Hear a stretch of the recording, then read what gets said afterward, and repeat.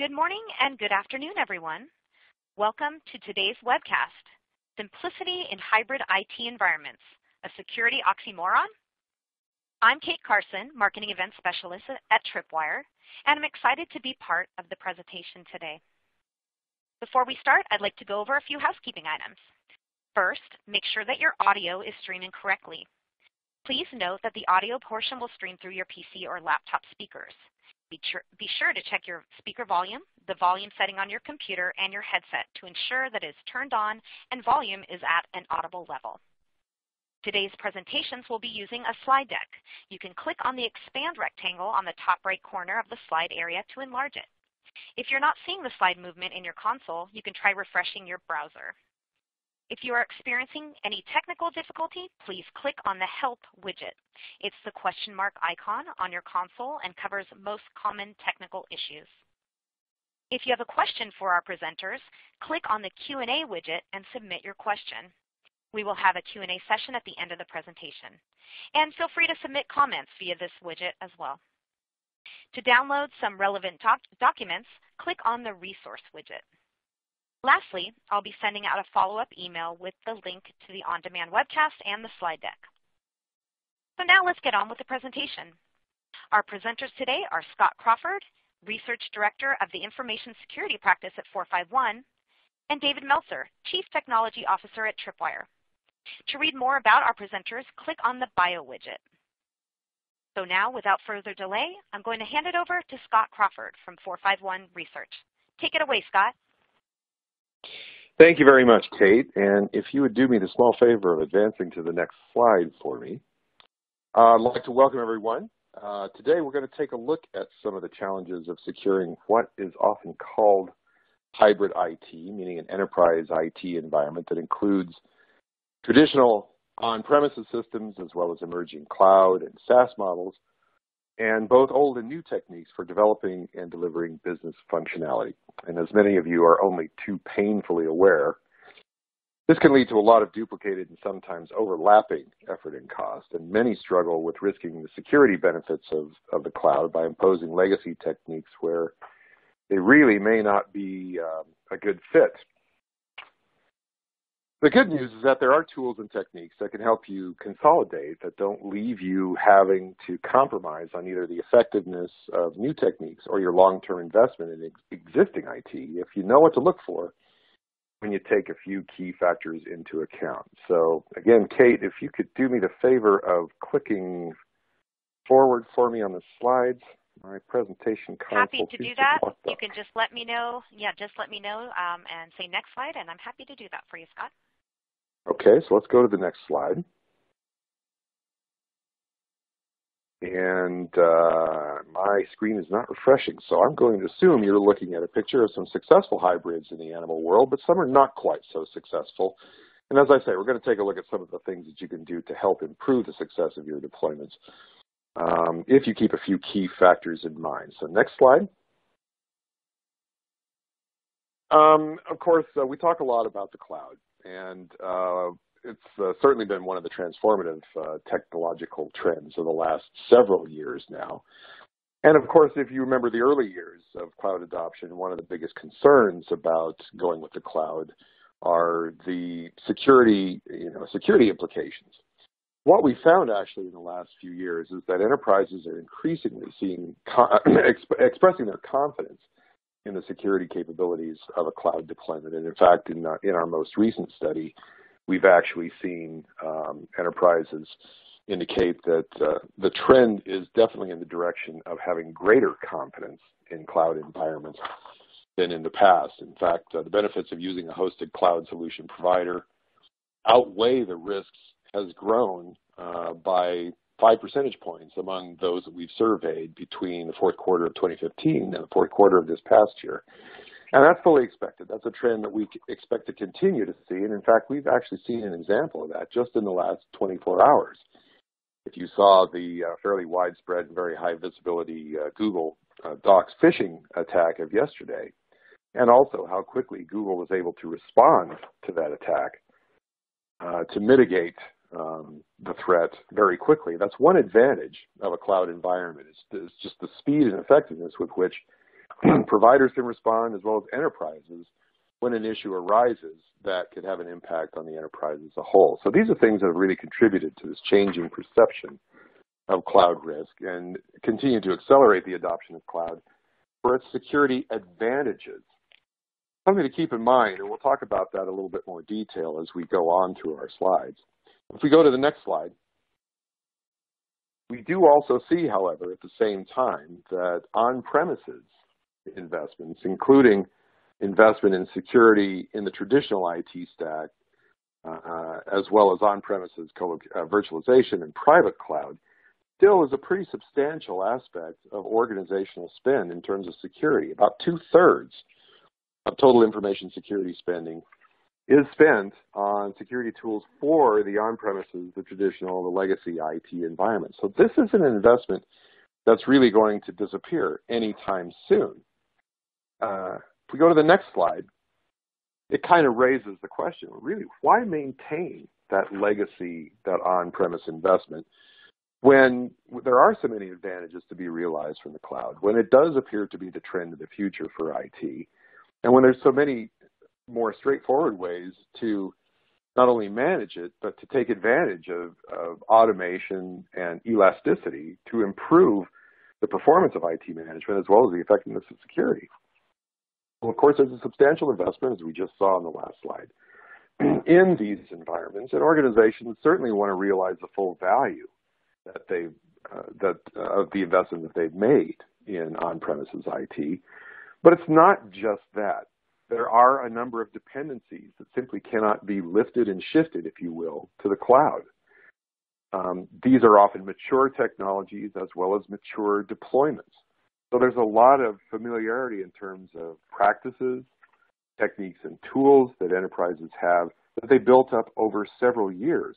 And in particular, in terms of operational expertise from security teams in particular, this is a lot of institutional uh, expertise, institutional memory that's been built up over a long time. And that in itself is a pretty substantial investment.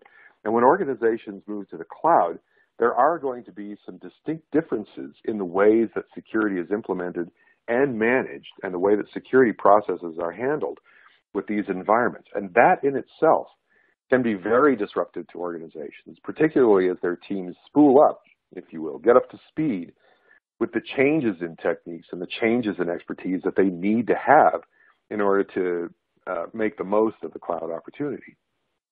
There's also regulatory requirements that enter into the picture as well, as, as a lot of organizations well know. In fact, in many cases, when they would prefer to move to the cloud or move directly to more cloud native techniques, they're simply not able to do so because of the regulatory requirement to maintain the on-premises investment. Uh, and that speaks to another and related issue as far as the ownership and control over those assets. If you're talking about business functionality or data that the business feels that it needs to maintain direct control of from the level of infrastructure on up, then that's a case where the investment will likely be sustained or at least won't be turned over anytime soon. So there's a lot of reasons and a lot of valid reasons why organizations maintain their investment in on-premise, in legacy environments that uh, really motivates uh, not only the spend on both, but the necessity to maintain investments in both legacy and on-premises and in emerging technologies, including the cloud. So this isn't a situation that's going to go away anytime soon for organizations. And to really deal with this more intelligently, a strategy that embraces both will need to be a part of security management strategy really for the indefinite future. Next slide. But there's another complication at the cloud end of things. And a lot of times we talk about the cloud as if, you know, there was just one cloud or one model that we're moving to. And why a lot of cloud architectures do have a lot of characteristics in common in terms of their approach to elasticity, scale, management, uh, automation, and so on, the implementations can be very different. And in fact, some cloud providers uh, really emphasize making it easier for hybrid organizations to have a transition path from on-premise, from traditional approaches to IT, to moving those into the cloud and, and make it amenable for organizations to at first assume a lift and shift sort of approach, if you will, as they transition to more cloud native techniques uh, for IT that has been quite literally born in the cloud. Each provider is going to be different. Um, Amazon will emphasize cloud native techniques that are most amenable to its platform. Microsoft Azure may be more friendly to the lift and shift approach because of their they recognize that not only they but their customers have a pretty substantial investment in on-premise techniques. Uh, Google Cloud uh, Services will uh, take uh, a different approach altogether as well too that take advantage of the company's innate scalability and exposure through you know, its many uh, outlets in terms of not just search, but many other approaches, including Google Docs for productivity alternatives, typical Office application suites, and so on. So there's different approaches, different services in the cloud. So it's never just the cloud or one cloud or a migration in that direction. So even when we're talking about cloud environments, we really can have more of a hybrid approach than the term just moving to the cloud might imply. Let me take a pass at advancing the slides and see if I've got control back, and it looks like I do. So what's the problem with that? What's the problem that we run into with having to maintain these multiple and often separate and disparate environments? Well, they don't, you know, they often don't have very much in common. There's one set of techniques that will typically apply for legacy or on-premises environments. There may be a set of techniques that apply to maybe not just a given cloud environment, but to multiple cloud environments. In fact, concepts in multi-cloud orchestration, we're beginning to hear more about that as well too. But uh, that sort of, you know, that sort of approach is still in its fairly early days. Regardless, taking all these factors together does tend to contribute to and increase IT complexity. As we've long maintained, Complexity remains an enemy of security. This is, this is a story that we are very familiar with in security and in enterprise IT. It's something we've talked about for years, and yet the situation just seems to be getting worse, and particularly when you have these disruptive trends that completely change the approach to IT deployment operations and management. So we have to get a handle on some of these complexity issues. In fact, this was one of the themes that we heard discussed most prominently at conferences this year, in, at the RSA conference in particular, um, this past uh, first quarter. And yet a lot of organizations seem to be, you know, seem to have difficulty knowing where exactly, how can they get a handle on complexity? Where would they actually, you know, streamline their efforts? In terms of hybrid IT, where can they start? Well, if we start with, you know, a few basic principles, we first of all have to consider that secure, simplicity in a hybrid environment isn't necessarily an oxymoron. In fact, you know, Einstein once famously said that things really must be as simple as possible, but no simpler. What we need to do is identify areas where we can uh, identify ways where cloud and, and uh, on-premises and legacy environments do have objectives in common and make the most of those. But at the same time, we have to be aware of distinctions between these two environments and not try to impose what works on one necessarily onto the other. Or we may find that we're actually damaging the benefits we expect to receive from one technique or the other. So where do we start? Well, we can start with considering common objectives. When we look at our survey data from 451 research uh, studies in just the last few months, there are a few things that really kind of rise to the top in terms of what the top organizational concerns around uh, are around security and compliance with cloud solutions in particular. One of the things that we see is at the top are things like encryption, identity management, authorization, access control. What this really says to us is that organizations are looking for consistency of control across both legacy and, if you will, new IT, new approaches to IT. They don't want to have to deploy multiple tools for the same objective. You don't want, nor really do you need to have your users logging into different silos of technology just to assure end-to-end -end security, privacy protection for sensitive information or access to business critical assets.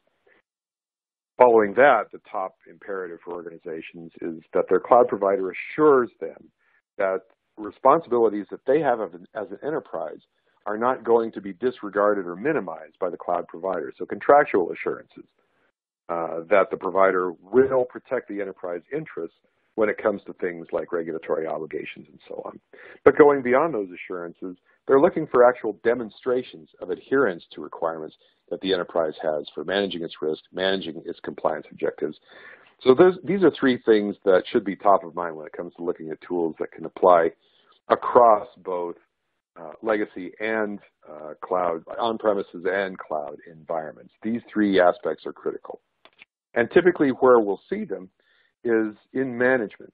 So if you have technologies that take an approach that consolidate management objectives across both on-premises solutions as well as for cloud and new IT, if you will, um, you'll find that it will be a lot easier to define, first of all, define your risk management objectives and define a consistent application of things like security policy, but also consistent execution of tasks. If you need to execute an asset inventory, if you need to execute uh, a vulnerability scan or assessment, you want to be able to have you know, one command executed across all your environments whenever possible to minimize the level of effort required for your teams to actually perform functions that they must perform across each and not duplicate their effort. You also want to make sure that your tools will pull back the data in a way that consolidates findings in such a way that on the one hand, you're not going to lose valuable information by doing that, but you'll also be able to see risks and exposures across the entire environment, which gives you the opportunity to prioritize those according to what's most important to the business and not what's specific to a given silo. If you take the siloed approach, you may find yourself focusing on issues that are important to address in one silo while at the same time ignoring or deferring something that might be equally or more important in a different aspect of IT. So having technologies that can consolidate this information for you so you can simplify things like uh, prioritizing risk and vulnerability management should be important in selecting the tools uh, that you use to consolidate management across hybrid IT. But, and there is a pretty big but in that, uh, me for, for saying that, but there is a pretty big gotcha involved in looking at tools that can satisfy all these requirements. And that's that sometimes, you know, a tool that applies in one environment simply won't apply in both. And this is one of the most consistent feedback, uh, items of feedback that we get in our surveys of the enterprise. They find that a lot of times their tool providers just don't speak the language of something that's outside their domain of expertise. For a legacy or an on-premises technology, they're not, you know, they can't be applied to a cloud asset or a cloud resource, just don't have the ability to adapt to hybrid environments. And so that's something that you can pick up right away. Well, what kind of support does your tool have for these other environments? How comprehensive is it? Line that up for your critical assets that are not traditional IT to see where your providers do provide that sort of support. But take that a step beyond. It's not just does your tool support these different types of environments, but how does it support these environments? This is really key. This is where really get into the details of does your preferred tool really do the job that you expect it to do? For example, when you're taking an inventory of your IT assets for on-premises techniques, a lot of times you'll have a tool that's actually purpose-built for that function, uh, either to do things like a vulnerability scan across your entire environment or as an aspect of uh, a systems management platform, for example, that will be able to take an inventory of all the assets in your environment and present you with an accurate and up-to-date view of that environment. In the cloud, this is often done via API. And in fact, uh, through a, a command line sort of interface in a lot of these cases, you can query your cloud environment for specific things, instances of a given deployment in the environment. In the case uh, we're illustrating here, VPN gateways, flow logs, and so on. And these sorts of inquiries can deliver results very quickly and very accurately because those types of capabilities are really key to modern IT, modern cloud environments. They can deliver very detailed, very accurate information very fast. Um, and they can do it through these API interfaces. And a lot of times they can do it by functioning out of band. They may have minimal dependence on inline functionality or agents that you typically have to add to Uh, a legacy or conventional IT environment because you can obtain this information directly from the cloud. But it's really important to get into the details of these sorts of capabilities with your tools to understand just how do they deliver this sort of functionality, deliver this sort of information from the cloud as well as from the on-premises environment. Can they take advantage of cloud native capabilities so you don't lose the advantages of API-based management, of automation, and the ability to take advantage of the speed and efficiency that is really one of the key reasons why organizations move to cloud in the first place. Because if they don't, you may find yourselves actually applying the old to a new environment and hampering your efforts to make the most of the efficiencies that you expect to gain from moving to the cloud. And it's not just API-based uh, management, and it's not just you know the ability to automate via API integration with these environments. It's also the fact that cloud is highly elastic and can scale on demand. So when you're trying to apply techniques that are native to the cloud, it's not such a big deal when you're talking about a small deployment or a small application with a few number of you know nodes or something like that. But when you get into the on-demand scalability uh, of an environment, that can get out of hand very quickly. You may find yourself with a very large inventory of assets at any one time and if your environment is amenable to bursting, for example, you may find that inventory changing very dramatically and dynamically all the time. So you have to be able to have tools that can scale very quickly on demand with that sort of elasticity if you expect to achieve the same sort of performance out of your security management tools as you do out of the cloud environment itself. One final thing to consider is that as, as we look at the long view of where these uh, new IT environments are going, we've seen you know the rise of infrastructure of a service. We've seen cloud providers basically take on um, system virtualization at scale. But the more recent trend is to further abstract those environments into things like containers and microservices, which even more finely slice uh, the aspects of IT that are or even have to be exposed to the enterprise and that make management even more efficient for these environments. And going even further, we're seeing the rise of what you might consider serverless environments now, or function as a service, which abstracts virtually all of the underlying infrastructure and exposes only the business logic, typically event-driven and in fact, um, the runtime, a, a, given instance of a runtime of, of a function as a service environment may last for only a few minutes, but it's called when needed, delivers a result, delivers some sort of output, and then becomes available again for the next task. So this is even further abstraction, not only of IT, but of the management responsibilities involved in IT. So another question for your preferred providers, how up to date are they with current trends?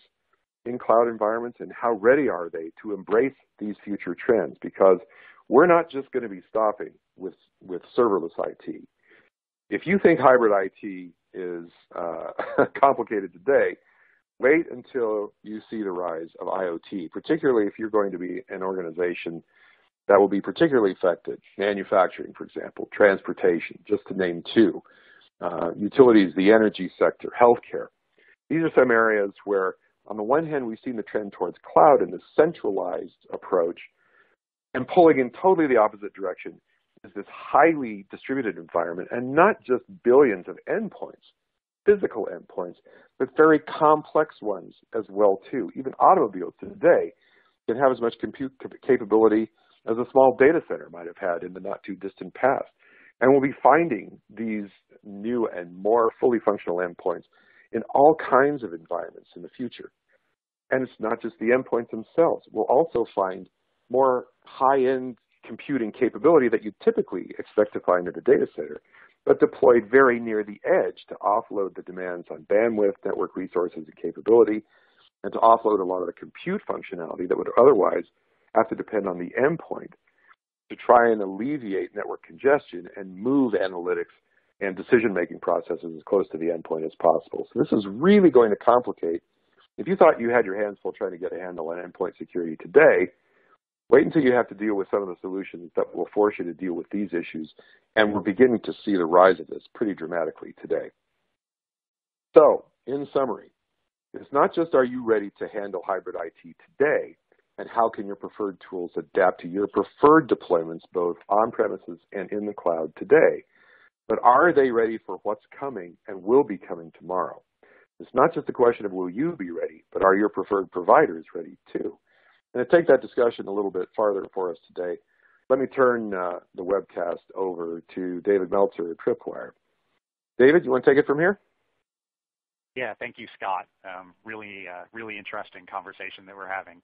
Uh, and to follow this up, I, I want to share some of the experience I've had working with uh, a number of Tripwire's customers who are currently going through this transition, this transformation, and from the security perspective, trying to figure out um, how do we deal with this hybrid uh, IT environment that we're facing.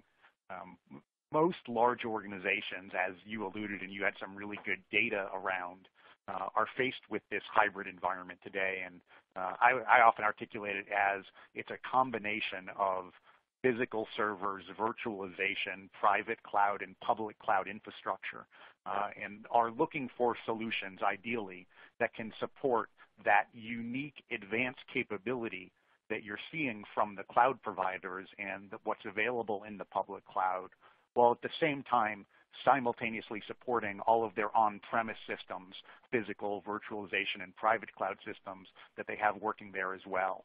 Um, because security is so complex already just of itself, um, with 60 different categories of security tools out there, and any large organization is probably using dozens of different security tools and vendors.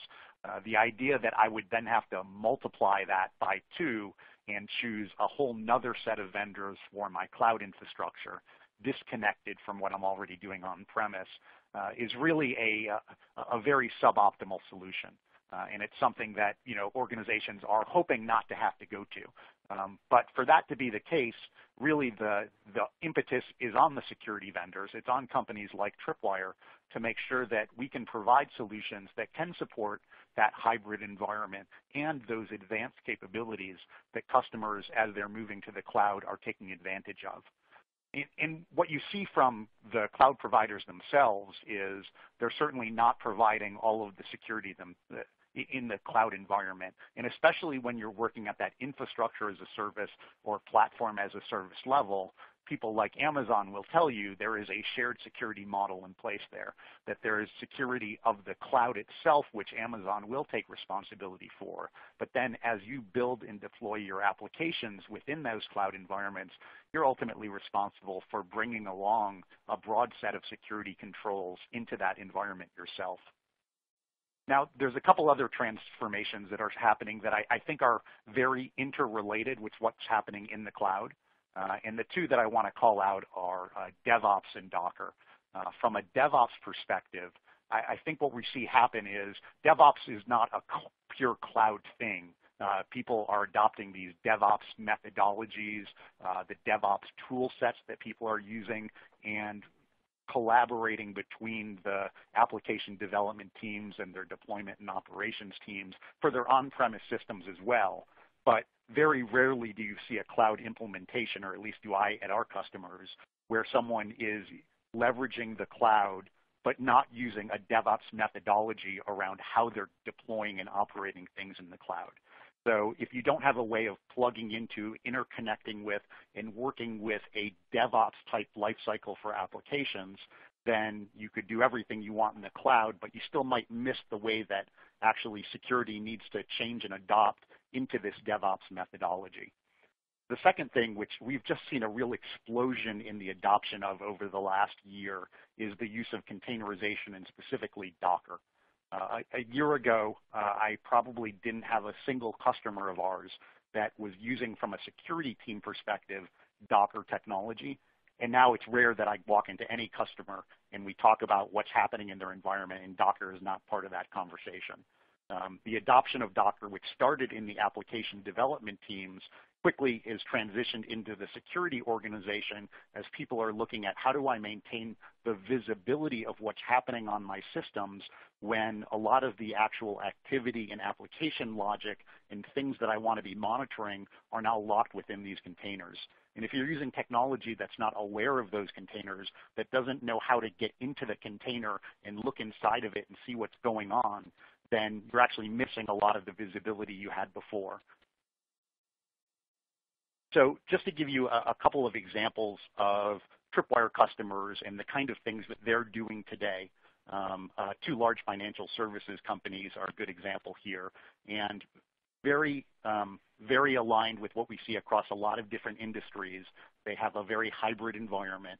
They're moving applications and developing new applications in public cloud environments and have been looking for ways that as these things get deployed, they can automatically detect where are those new systems being spun up, whether it's in a virtualization infrastructure, whether it's in Amazon Web Services or Azure.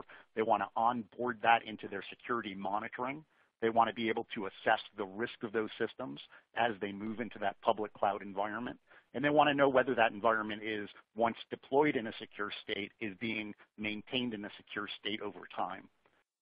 We actually have a number of customers now that are deploying Tripwire technology within Amazon Web Services and Azure and are getting this consistent viewpoint of assessment for risk and monitoring for integrity after the initial deployment using our technology and using the, some of the custom capabilities that we've been building into the products around hooking into the Amazon Web Services and Azure APIs to do the kind of things that Scott was talking about in terms of figuring out when are these assets spinning up, when are the assets disappearing, how can we automate the monitoring of those systems.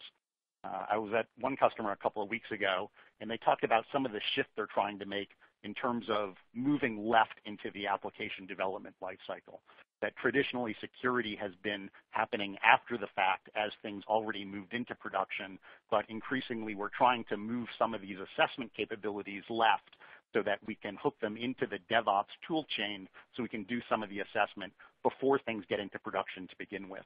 Uh, and those are the kind of things we see many of our customers working on and trying to build the solutions for today.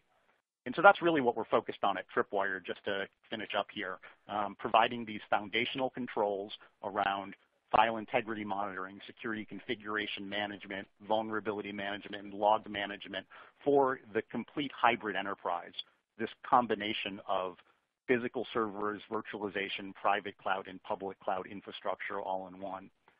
That translates for Tripwire into helping companies solve three different problems protecting their organization by solving their security problems with our foundational security controls, and then proving compliance against the both regulatory standards and security frameworks companies put in place. The kind of foundational controls that Tripwire provides have been built into almost every security framework and regulation that exists because it, because it is the foundation of security that many organizations need to have in place.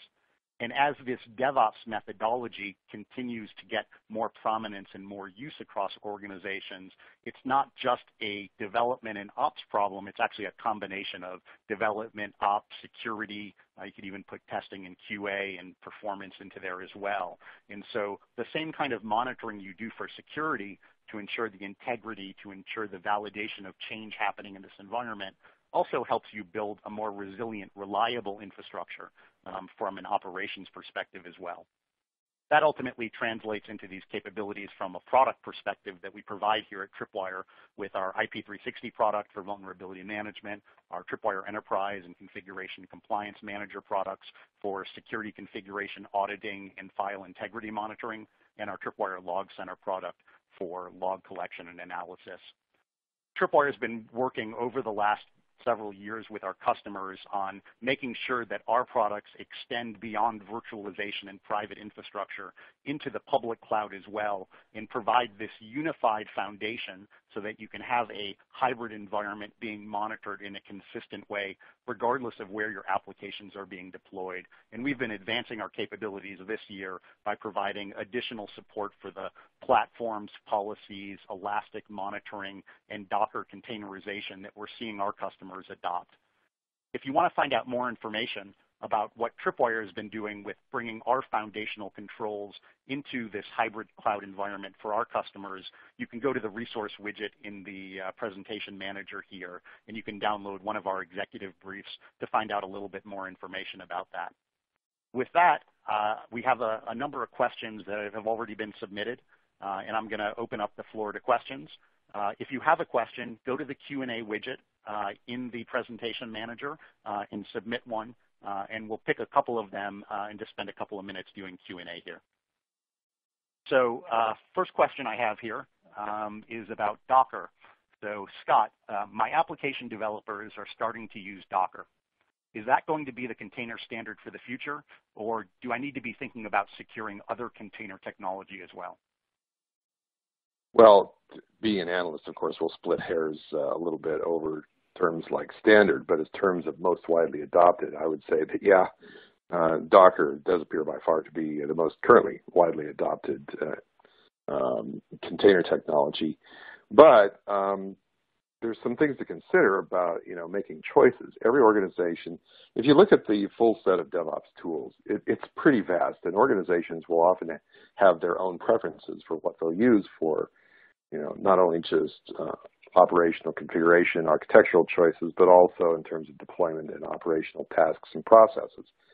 So you'll want to consider you know the full plate of tools that you use when you're looking at a more automated, much more agile and responsive approach to um, architecture design and uh, environmental management.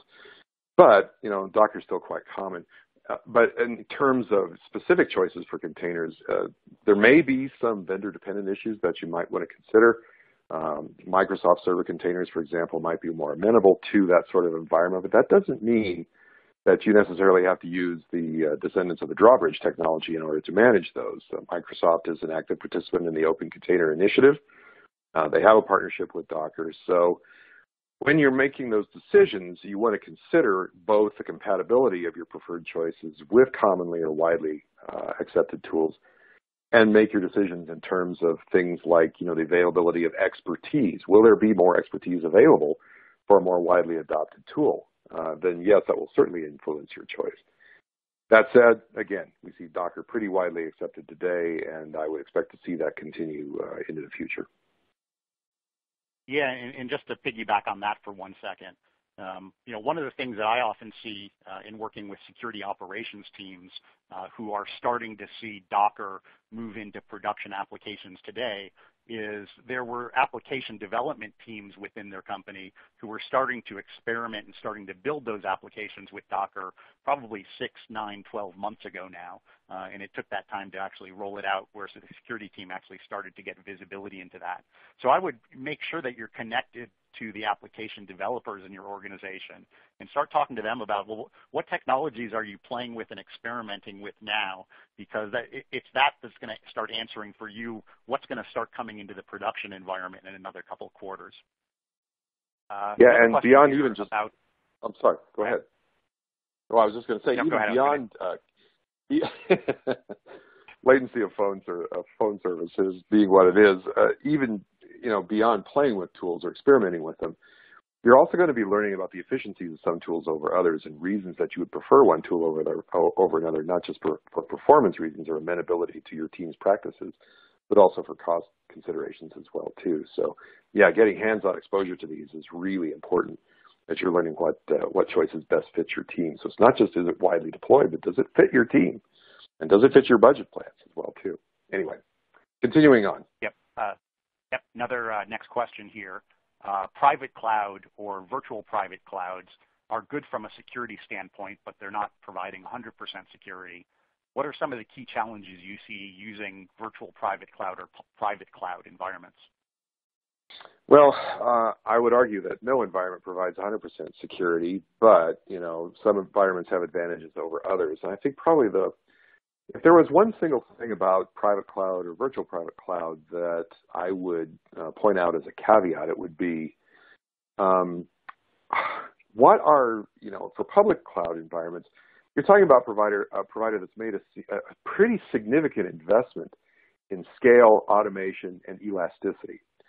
How, you know, how ready are you to replicate those same capabilities in your private cloud environment? virtual private cloud or private cloud hosted on a public cloud provider can can answer you know some of those questions, solve some of those problems. But if you're taking this on entirely yourself, then you got got to consider what's the maturity of your operation in terms of embracing not only the tools but the practices as well too. When you're talking about you know on-demand bursting or scalability on demand, does your approach to management is it actually going to accommodate those types of scenarios when they do happen? Uh, visibility is another one. Uh, is your environment actually you know, well designed to take into account that when you do have those elastic bursts of availability, that you're actually going to have the visibility throughout your environment that you think you do? Or is it that your legacy, you know, tools do not provide the level of visibility that you expect? If you have a, a legacy net approach to networking that doesn't embrace virtual networking or visibility within a virtualized or containerized host, you may be blind to some of the activity that you would ordinarily expect to see in a physical environment. So how prepared are you really to bite off those challenges for those environments? And does your team have the right expertise uh, to deliver it? So that's probably the main thing that I'd consider uh, when it comes to private cloud or virtual private cloud. But again, you know, there are hybrid approaches even to that as well. Private cloud hosted on a public cloud provider or migrating ultimately to public cloud at some point for private cloud assets. If you don't have to do it for compliance reasons, for example, you might want to consider, is it really an advantage to go private cloud in those cases? Just a few things to weigh. Yeah, and, I, am seeing a number of organizations who are very deliberately taking a, a, a multi-cloud approach so that they are not locked in one specific provider, and, and the private cloud is one component of that strategy, and they're they're using and looking at orchestration tools to help give them that cloud independent way of building applications. But again, those have that does increase complexity, and there there are some disadvantages of trying to insert a, a cloud uh, management and development layer between you and directly like what the Amazon Web Services would provide you. So you know, I think there's mm-hmm. challenges of that from a efficiency perspective. Uh, next question here. Um, we, we talked about this hybrid IT environment. How, how long will this hybrid future exist? Uh, will everything be in the cloud in 10 years, or is this really a long-term issue for large organizations? Um, I'm inclined to say it's a long-term issue, not least because our data points in that direction. Going back to the slide that I showed, that 60% of existing information security spend is invested in legacy or on-premise, on-premises uh, solutions, technologies yeah, this is going to go on for the indefinite future is probably the best way to hedge your bets by saying that. But that, you know, subtext of that is it's definitely long term. I mean, even when you have a lot of data center resources migrated to some sort of cloud uh, environment, you may still have physical uh, physical locations that you have for which you have to provide connectivity for endpoints. Uh, you may have physical networks that you have to administer to connect resources together, cloud and otherwise. So the investment, I think, will go on. Uh, it may not be the ultimately preferred approach to a data center per se, but yeah, there will always be an on-premises investment, I think, for most organizations for the indefinite future. And and the biggest exception to this trend will be you know, the virtualized workforce and being able to connect from any device via any network to any resource. That's the biggest counter trend that opposes that. But it's going to be a long time before we see organizations move fully in that direction. A lot of organizations will maintain their investment in their own physical environments. That will mean an investment in physical IT for some time to come. Yeah, and that, that mirrors very much what, what I see in the market as well.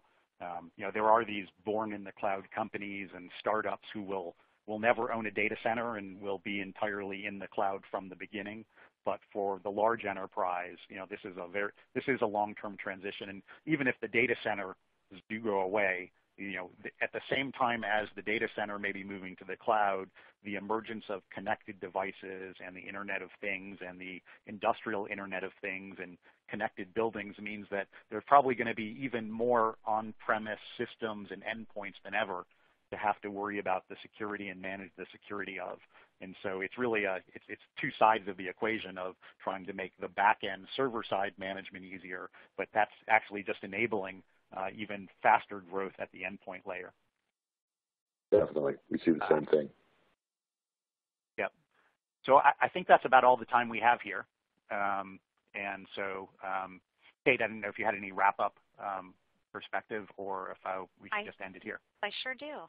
Wonderful. Yes. Uh, first, I'd like to thank our presenters, Scott Crawford of 451 Research and David Meltzer of Tripwire. Thank you, gentlemen. This was a really informative presentation, and we've had a, a lot of interest in this and questions um, and audience engagement today. Um, so, and that brings me to thank you to our audience for joining today. We really appreciate it, especially because everyone's time is so precious. As I mentioned earlier, I'll be sending out a follow-up email with a link to the on-demand version of the webcast and the slide deck. Also, if you'd like to receive a proof of attendance document for this webcast, please respond to the follow-up email. We hope that you'll join us for future webcasts. Check us out at tripwire.com for upcoming events. Lastly, uh, check out our award-winning blog, The State of Security, to read the latest in news as well as thought-provoking security topics. Thank you, and have a great day.